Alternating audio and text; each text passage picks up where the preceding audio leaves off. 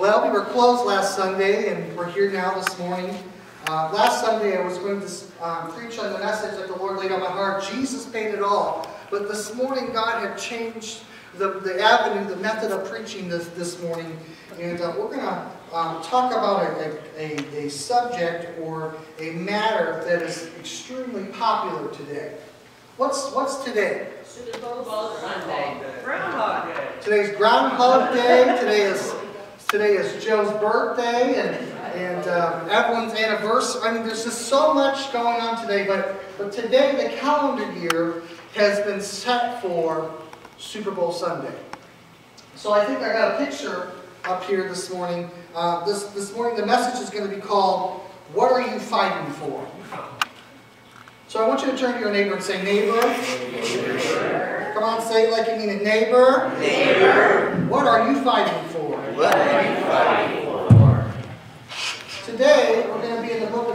1 Timothy chapter 6, verse 12. But just a little insight about Super Bowl Sunday.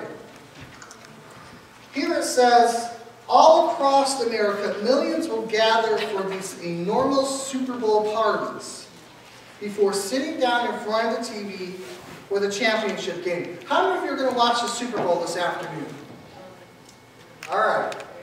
How many of you are just going to go to parties and eat up the food? I've got four. Amen. Ain't no shame in that. Ain't no shame in that. Now, for those who know me, I, am not a sports fanatic. I'm not a sports guru. I really don't know anything about sports. Now, one time, I, I did, I did um, football camp. Is my mom still here? I think maybe she stepped out. I did football camp, and it was for one week. And I didn't make the whole week. I made the first two days. There was this big man they put in front of me, because I'm, you know, I'm a small guy, right? So they, they match you up to this person, and this guy was is much bigger than me. I was I was in eighth grade at the time, Bob, and this guy was in high school, Bob Bonner. You might know Bob Bonner. Anyways, Bob Bonner and I, we, we were lined up. You know, they tell you to get down and line up. Well, Bob Bonner, Bob Bonner hit me so hard. I remember this just like yesterday. He hit me so hard that the whole left side of my body would numb. And I said, forget that. I, I turned in my helmet and I, and I just left. But football is becoming the Americans, uh, America's top sport.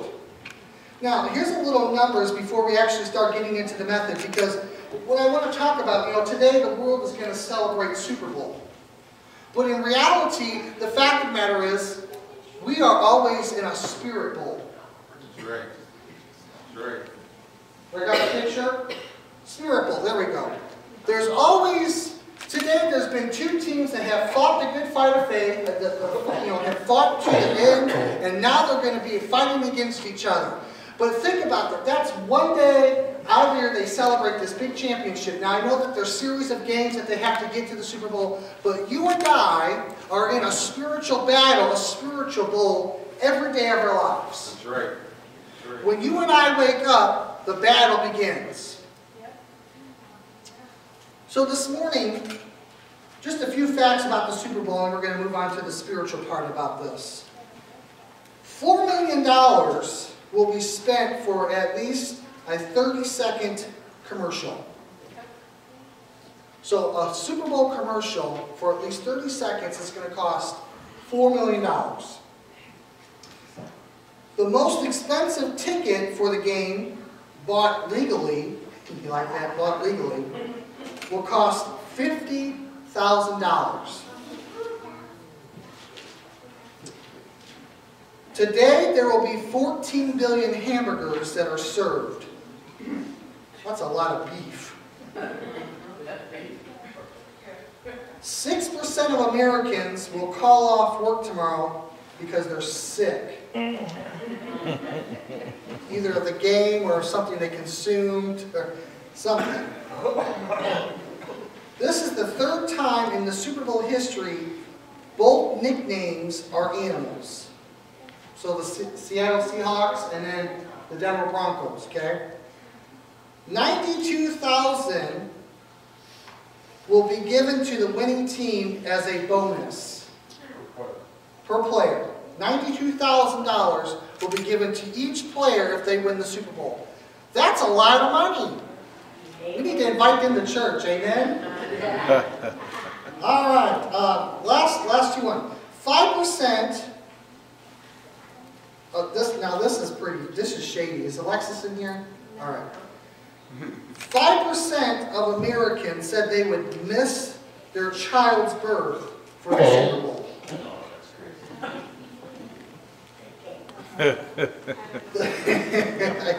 Joe's getting it over there. Yeah. All right, the Super Bowl is the second, second highest day of food consumed in the United States of America after Thanksgiving. The Super Bowl is a big deal to people. I mean, they really, they spend some time prepping and they start preparing for this and they send out invites, come to my house, we're gonna have a Super Bowl party, we're gonna, we're gonna get our, you know, get our seats up and, you know, we're gonna prepare for this. But how often do you and I prepare for our spiritual bowl? I mean, think about it. I mean, here we know of football teams, there's two opponents, two teams, and they're fighting against each other for one thing, and that's the championship. Well, the same thing for good and evil. There are two people, there's two opponents, good and evil, and they're fighting for the same thing. And that same thing is souls. Satan is working just as hard to get souls as the church is today. So the church is supposed to be fighting for souls. We're supposed to be getting the good news out there. We're supposed to be telling people, hey, Jesus is alive. He's your Savior. Why don't you come to know Him? But we are failing on that aspect. The churches are starting to dwindle down. And there's several different reasons. I'm going to talk about four characteristics this morning that make a great football team. And then I started using my spiritual imagination. Well, what are the top four characteristics that it will take for us to become a great church? And that's kind of what, the, what we're going to talk about this morning. But if you have your Bibles, let's go to look at 1 Timothy chapter 6 really quick. It's going to be up on the big wall as well. Okay? It says, fight the good fight of faith. Tell somebody to fight. Fight. Turn to your neighbor and say fight. fight. Fight. You fight over the you fight over the TV remote at home. You fight over the bank account. You fight, anybody fight over the bathroom at home? The Bible tells us, fight the good fight of faith. We need to fight for our faith. We need to fight for the championship. We need to fight believing that God is on our side and that when we share the good news, that people will come to know Jesus. Amen? Amen. That's what we need to be fighting for. It says, fight the good fight of faith. Lay hold on eternal life to which you are called and have confessed the good confession in the presence of many witnesses. This is simply saying here, church, it's time to fight the good fight of faith. These football people are getting paid out there, and they're, they were being trained, they're being prepared, they're being equipped to fight against the opponent so that they can win the championship, so they can get their 92000 bonus at the end of the game. Church, we are the same concept. We as the body of Christ need to fight the good fight of faith so that there are people that are dying and going to hell out there will come to know Jesus Christ. Right. Amen, Well, Somebody say amen this morning. Wake it up. Amen. Amen. Church, we have to get excited and motivated. Think about the time when you didn't know Jesus and somebody was excited to share Christ with you, and what look what happened. You accepted Jesus Christ, and He has carried you throughout the way. Amen? Amen. So God has been good, and the Scripture tells us, fight the good fight of faith. And that's what I want to talk about this morning. So let's let's pray before we go farther. God, we thank you this morning. First of all, for being our God and for loving us, for being on our side, for being our for being our God. And, and, and Lord, just we ask that you would just be be at the service this morning, God. We pray that the Spirit will move and, and it will awaken souls and spirits this morning, God. We pray that as, as we're thinking about whatever those distractions are this morning, that they would be diminished and that, God, you will bring an alertness, a sense of urgency to the message this morning that we need to fight the good fight of faith, that we are in a spiritual bowl, we are in a spiritual battle, and that we as a church, we as God's people need to be prepared for what comes our way. In Jesus' name, I pray. Amen. Amen. Amen. So, there are four top characteristics I want to share with you. Uh, this past week, I was talking to a coach at, at my job. There was a he coaches a, a team um, a football team, and I asked him, I said, Coach, I said, what is it, what are the top four characteristics, or what are the top four things that as a coach you look for in your people, in your team? And this is the first one he gave to me. He says, becoming a great football team, team first.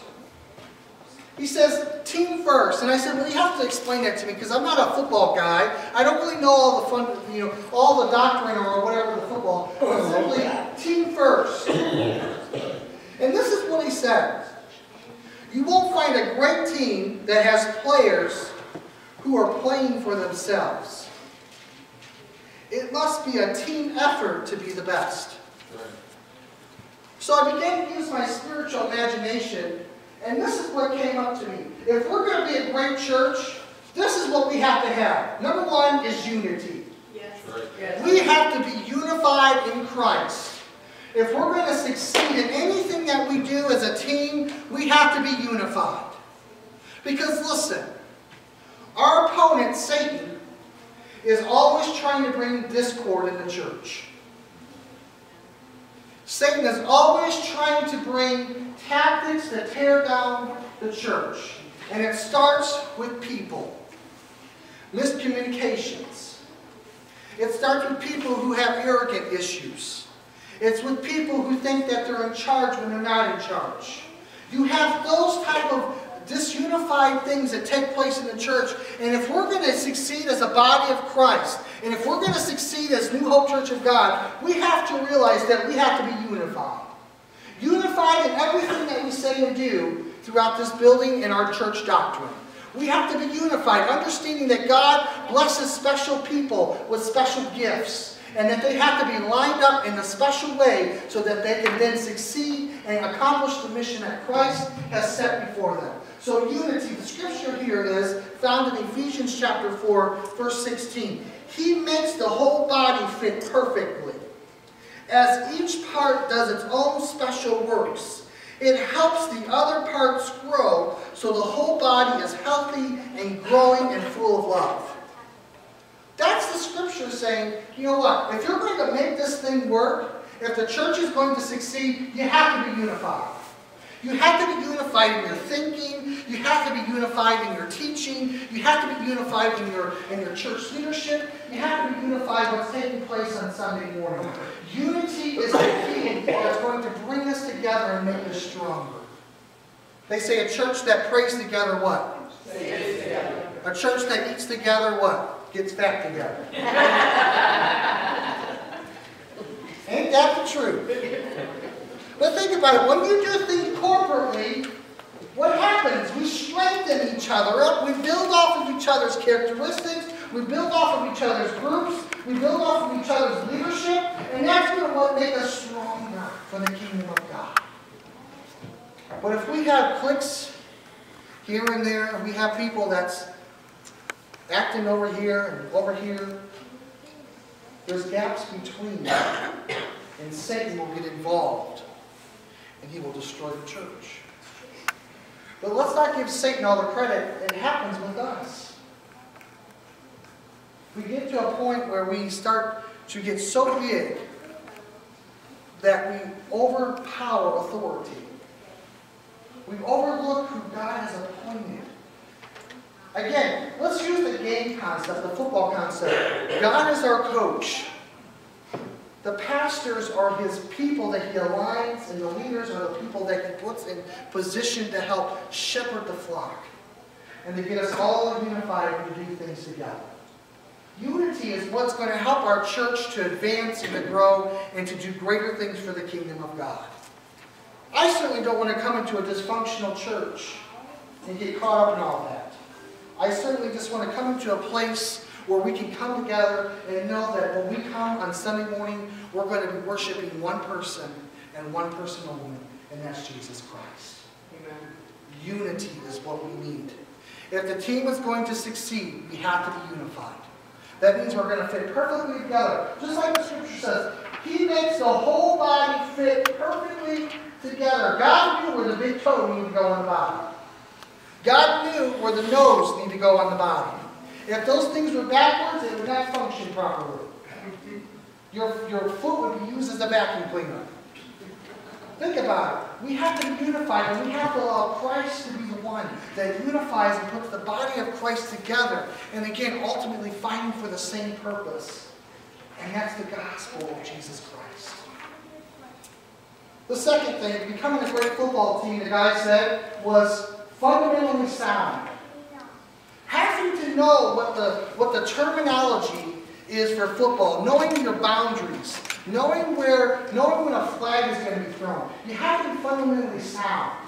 You have to know exactly what's going to take place during the game. When the coach calls a call, they have to know and be aware that this is what this is mean. You don't have time to go to a dictionary and look up these words.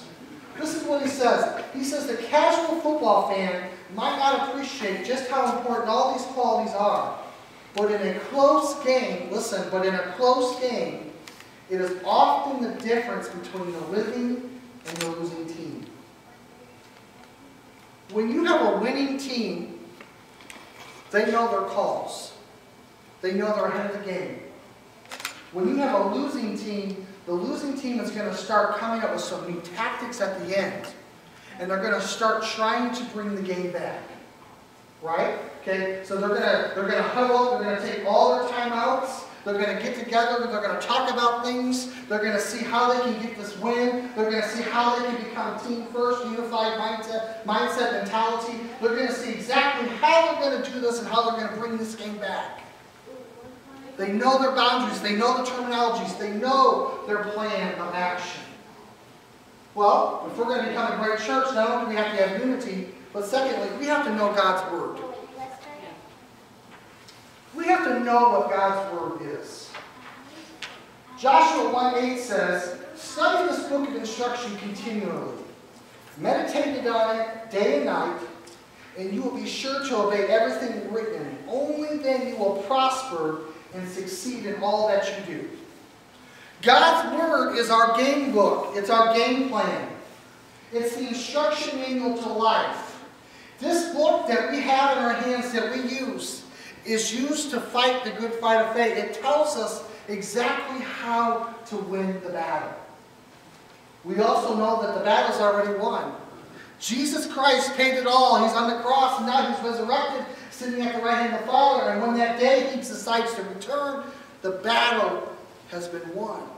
But while we're here on this earth, we still have a battle to fight. We still have things that we need to accomplish. We still need to come together and know God's Word. Simply, if you're defeated in life, there's going to be a scripture that will come to your mind and it will encourage you. The Bible says, hide the Word of God in your heart. Are we really reading God's Word? Do we, as a church, are we fundamentally sound in our doctrine?